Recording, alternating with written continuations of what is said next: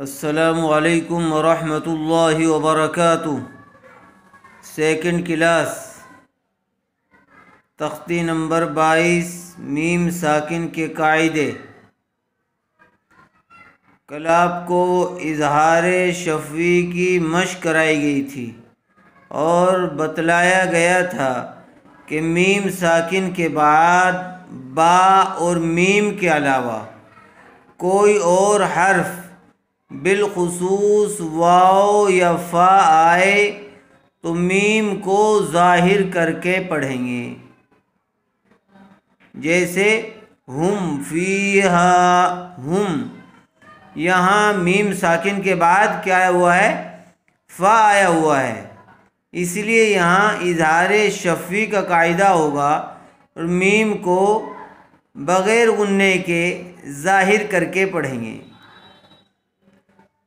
लकुम दीनुकुम, लकुम, meme साकिन के बाद, बा और मीम के अलावा दाल आई हुई है।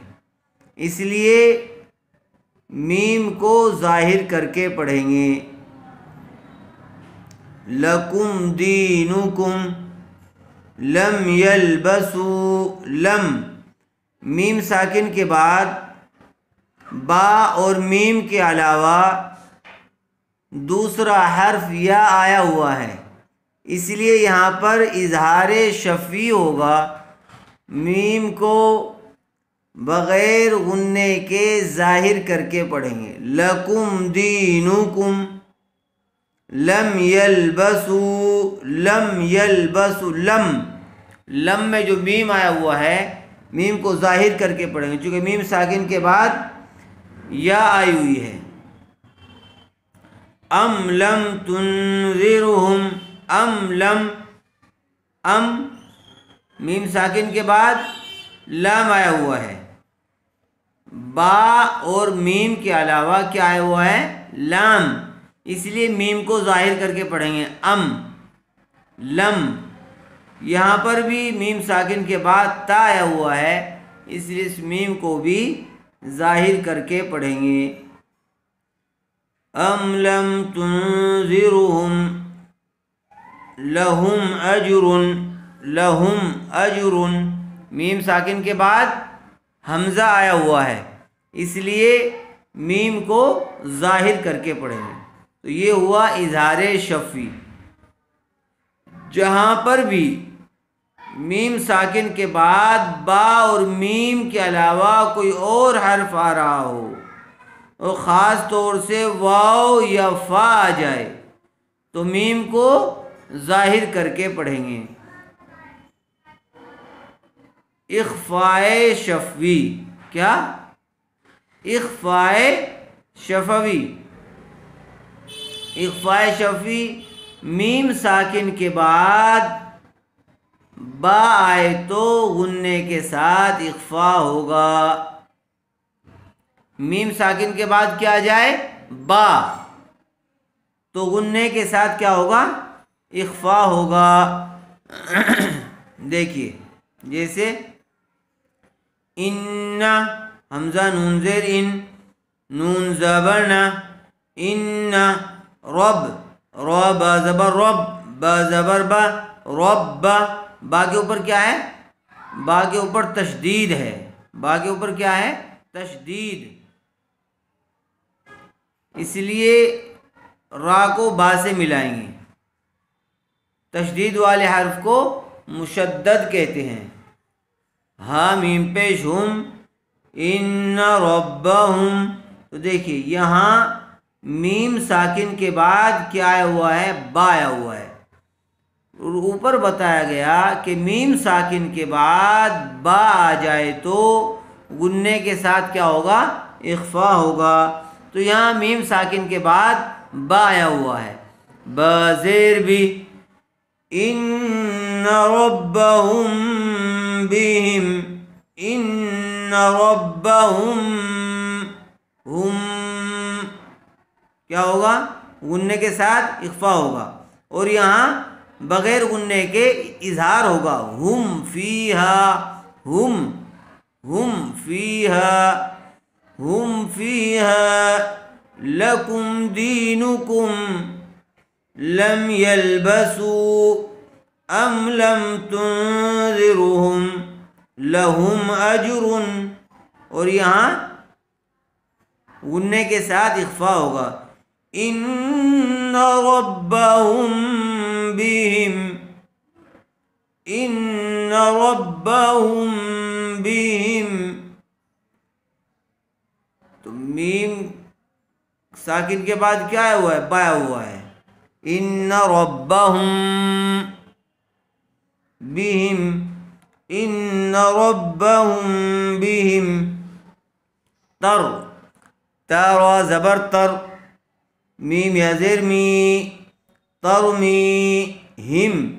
हा मीम ज़ेर हिम तर मी तो मीम साकिन के बाद यहाँ पर भी क्या आया हुआ है? बा आया हुआ है। इसलिए गुन्ने के साथ इख्फा करके पढ़ेंगे। बाजेर भी हाजिर ही, बी ही जी मलिक ज़बर जा बिही जा ज़बर बिही जा रा, ता दो ज़ेर तिन बिही जा तिन। तरमीहिम बिहिजारतिन तरमीहिम बिहिजारतिन तो यहाँ क्या होगा गुन्ने के साथ इकफा होगा तरमीहिम तरमीहिम बिहिजारतिन वाव ज़बर व मीम अलिफ ज़बर मा व ज़बर वाले हर्फ के बाद अलिफ मद्दा आया हुआ है। इसलिए मीम को थोड़ा खींचकर पढ़ेंगे। व हा मीम पेश हम व हम, मीम साकिन के बाद क्या हुआ है? बा आया हुआ है। इसलिए गुन्ने के साथ इख्फा करके पढ़ेंगे। बाजेर भी, वमा हम भी, मु, मीम हमजा पेश, मु वमा हम बिमु, मीम जेर मी, वमा हम बिमु मी, नून या जेर नी, वमा हम बिमुमिनी नून जबरना,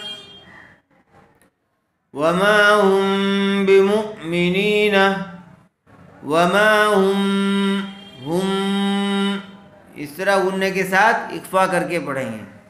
देखिए, इजहार शफ़ी और इजहार और इख्फाए शफ़ी का फ़र्क समझ लीजिए कि यहाँ बग़ैर उन्ने के मीम को ज़ाहिर करके पढ़ेंगे हम फ़ी और यहाँ गुन्ने के साथ इख्फा करके पढ़ेंगे वमा हम बिमुमिनीना, वमा हम बिमुमिनीना फ।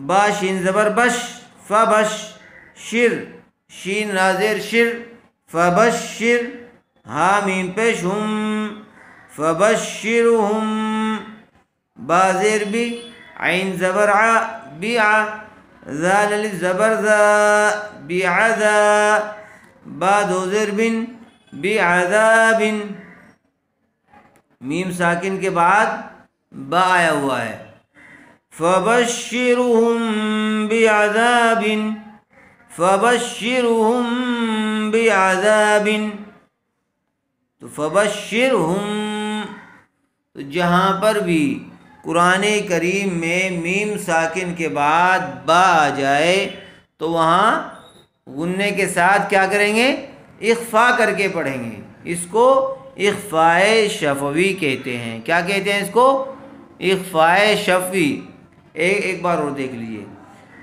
इन रब्बहुम बिहिम इन रब्बहुम बिहिम।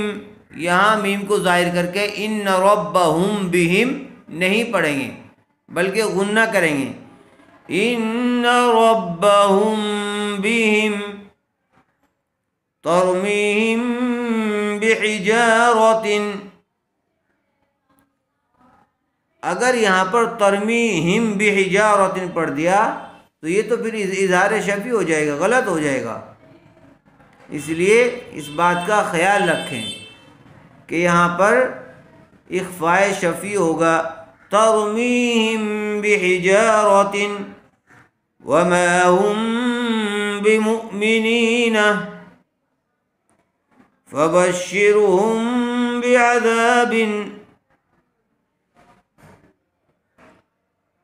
इजहार शफ़ी इख्फा शफ़ी दोनों की अच्छी तरह से मश कर लीजिए, इसको अच्छी तरह से समझ लीजिए।